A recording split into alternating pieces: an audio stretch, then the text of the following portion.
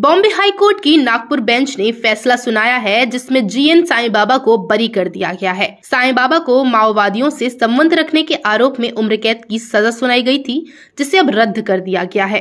पीठ ने मामले में पाँच अन्य दोषियों की अपील को भी स्वीकार कर लिया है और उन्हें भी बरी कर दिया है। अपील के लंबित रहने के दौरान पाँच में से एक की मृत्यु हो गई है। बता दें कि पीठ ने दोषियों को जेल से तत्काल रिहा करने का निर्देश दिया है, जब तक कि वे किसी अन्य मामले में आरोपी न हो। पाँच दोषियों में पांडु नरोटे की जेल में मौत हो गई है।